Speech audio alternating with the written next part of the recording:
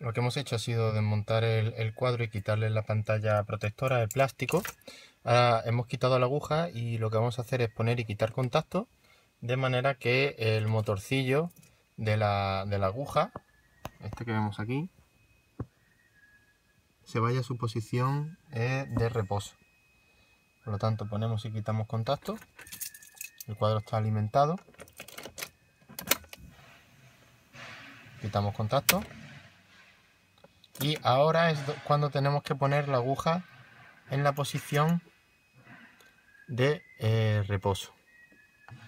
Que es justo por debajo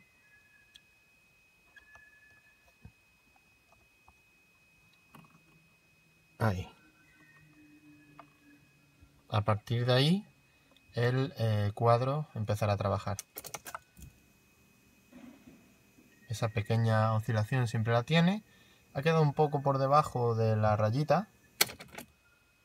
Lo podríamos sacar y volver a poner, pero bueno, es insignificante y mejor no, tocarlo porque muchas veces el eje del motorcito que mueve la, aguja eh, es fácil de que se parta, por lo tanto lo vamos a dejar así y probaremos el vehículo.